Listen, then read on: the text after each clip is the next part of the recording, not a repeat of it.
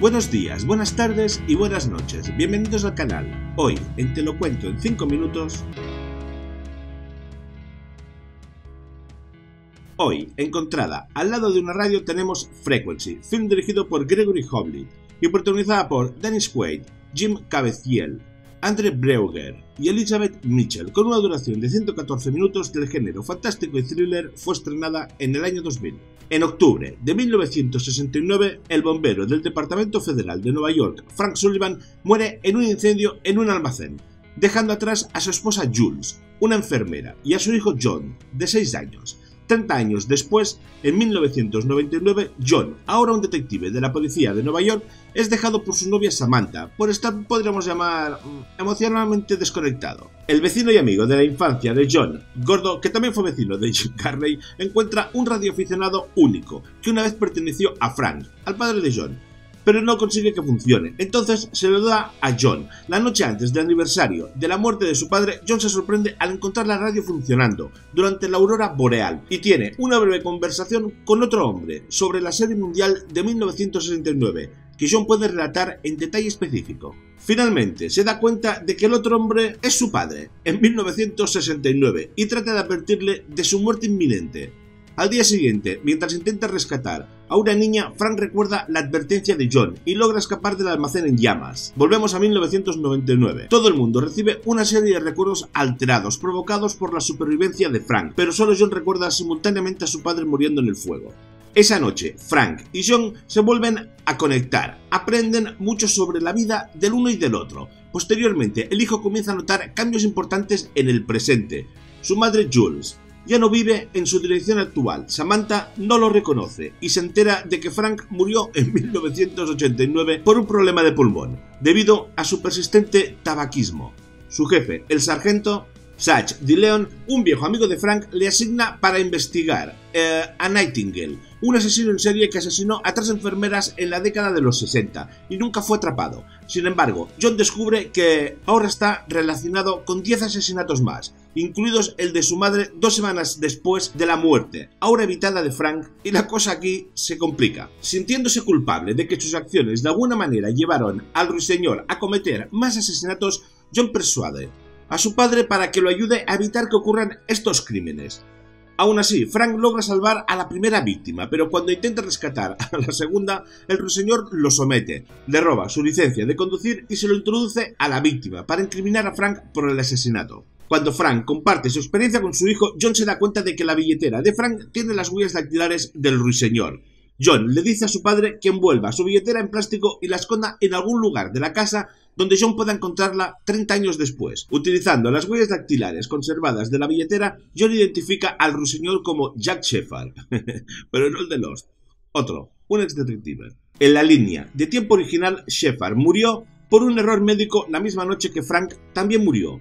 Se suponía que Jules dejaría el trabajo en el hospital temprano después de enterarse de la muerte de Frank, pero como no sucedió en la nueva línea del tiempo, Jules permaneció en el trabajo y evitó el error, que habría matado a Shepard. Mientras tanto, Frank es abordado por el entonces detective Sage de Leon, quien intenta arrestarlo bajo sospecha de asesinato, y en la lucha resultante la radio se vuelca y sufre daños apagándose. En la estación, Frank intenta demostrarle su inocencia a Satch al poder predecir con precisión varios aspectos de la serie mundial de 1969 y en el acto final de esta historia, mientras espera el interrogatorio, Frank activa el sistema contra incendios del recinto, escapa y irrumpe en el apartamento de Shepard donde encuentra las joyas que les quita a las víctimas. Entonces Shepard atrapa a Frank en el acto y lo persigue, terminando con una pelea bajo el agua donde Frank parece haber matado a Shepard. Satch, al darse cuenta de que Frank estaba diciendo la verdad, llega a tiempo para presenciar la lucha, encuentra las joyas de la víctima y Frank es exonerado. Frank arregla la radio, pero mientras habla, tanto él como John son atacados por las versiones de Shepard en 1969 y en 1999. Frank, con una escopeta, logra volar la mano de Shepard en 1969 y Shepard huye. Ya, en 1999, cuando los cambios del pasado afectan al presente, la mano de Shepard desaparece justo cuando estaba a punto de matar a John. Mira por dónde. El mobiliario de la casa cambia a medida que la línea de tiempo se actualiza rápidamente en el 99. Un anciano Frank que dejó de fumar para evitar su muerte relacionada pues con los problemas de pulmón ya en 1989 aparece y mata a Shepard con la misma escopeta y abraza a su hijo. Todo esto concluye con un juego de softball que incluye a John, Samantha ahora su esposa, al hijo pequeño de John y luego tenemos a Frank, Jules, Satch y Gordo. Se ve que en 1969, cuando era niño, Gordo había hablado brevemente por radio con John, en el 99. John le dijo que prestara atención a Yahoo. Entonces vemos la matrícula del costoso automóvil de Gordo, que llevaba la palabra Yahoo. Así que sí que prestó atención, sí. Fin de esta historia. Frequency da un giro hacia el territorio cansado de atrapar a un asesino suelto, y luego se precipita hacia el clímax de una película de acción. Muestra una falta de convicción mal guiada en la fuerza del material centrado. Los últimos 40 minutos pasan de lo único a lo convencional, cuando Frank intenta detener a un asesino en serie solo para convertirse él mismo en sospechoso. Luego la película abraza por completo la mansedumbre, al seleccionar las conclusiones más vertiginosas y dulces, en lugar de buscar cualquiera de las sutilezas desafiantes de la vida. Aún así, fue entretenida y me gustó. Mi valoración de Frequency es de un 7 sobre 10. La película en parte triunfa al contar el impacto personal del efecto mariposa y crea dos personajes fuertes y creíbles a través de Quaid y Cabeciel, quienes a su vez llevan la narrativa a través de sus defectos. Puede que no sea una experiencia perfecta, pero ciertamente es una experiencia agradable y memorable. Ahora, déjà vu.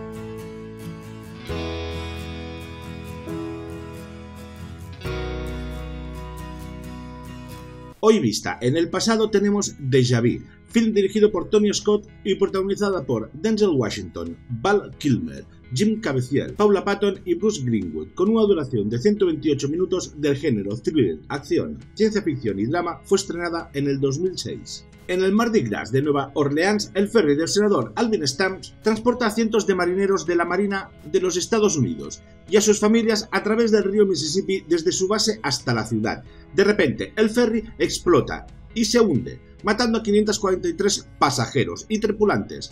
El agente especial Douglas Carden de la Oficina de Alcohol, Tabaco, Armas de Fuego y Explosivos, lo que vendría a ser la ATF, es enviado a investigar y este tipo tiene una vista, descubre evidencias de una bomba colocada por un terrorista doméstico. Al llegar a la escena se encuentra con los investigadores y el agente especial del FBI, Paul Pizbarra, y les informa de sus hallazgos se entera y es invitado a examinar un cuerpo parcialmente quemado sacado del río, identificado como Claire Kuchever, que fue denunciado a las autoridades minutos antes de la explosión.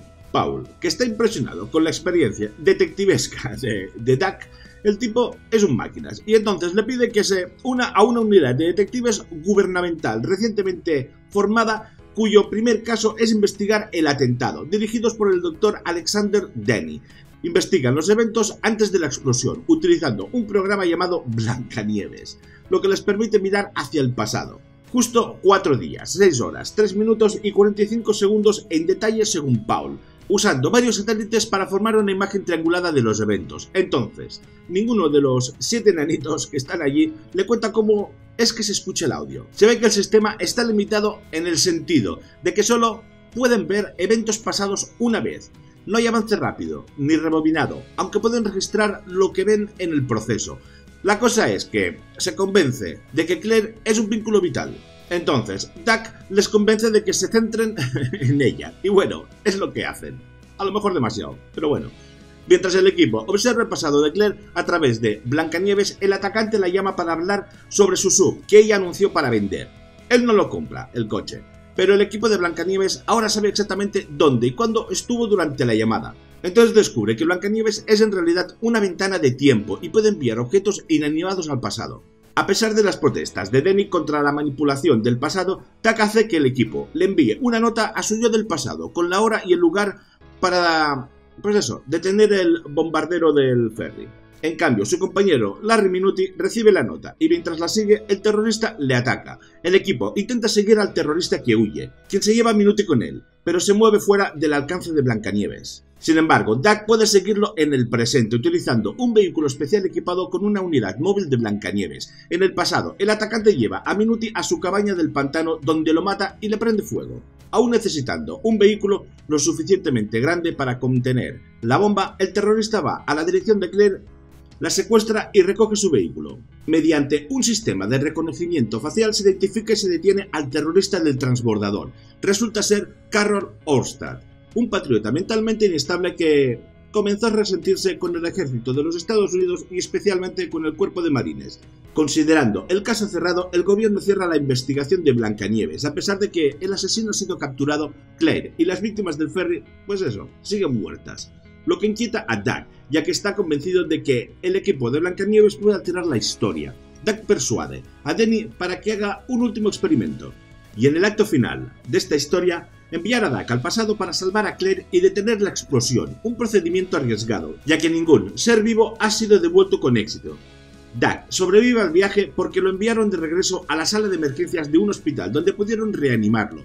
Roba una ambulancia y un arma y corre a la cabaña de Ostad, justo a tiempo para detener el asesinato de Claire, mientras Ostad huye con la bomba. Dak y Claire van al ferry. Dak aborda para tratar de encontrar y desarmar la bomba, pero mientras tanto, Austad captura a Claire y la retiene dentro del vehículo, en el que ha colocado, pues eso, la bomba. Se produce un tiroteo brutal que culmina con Doug tratando de negociar con Austad, pero finalmente lo agarra con la guardia baja y lo mata. Se sube al vehículo para intentar liberar a Claire, pero la policía lo rodea y amenaza con abrir fuego. Para salvar a todos, Doug conduce deliberadamente el vehículo por el extremo del ferry, antes de que explote, entonces, una vez en el agua, Claire escapa, pero Doug, incapaz de salir, muere en la posterior explosión bajo el río. Mientras Claire llora la muerte de Doug, se le acerca otro Doug Carlin idéntico, el de su presente, y entonces la consuela. Fin de esta historia. Deja Vu juega bien todas sus cartas y a pesar de que quizás no logró convencer a la audiencia de los avances tecnológicos de la trama, la película todavía se siente muy completa, divertida de ver y proporciona la cantidad justa de suspense para mantener a uno intrigado hasta el final. La película capta toda la atención del público desde el principio, cuando se desarrolla el evento de la explosión en el ferry. Y el director presenta la atmósfera de suspense del peligro inminente con gran habilidad. Mi valoración de Deja Vu es de un 7 sobre 10. A pesar de sus defectos técnicos, Deja Vu es una película muy entretenida y cargada de emociones, que sin duda proporciona o puede proporcionar una gran noche. Es romántica y de acción, con un final que invita a la reflexión y una convincente actuación de Denzel Washington. ¿Qué más se puede pedir al entretenimiento de uno? Nada más por aquí. Así que recordad, el cine es un espejo pintado.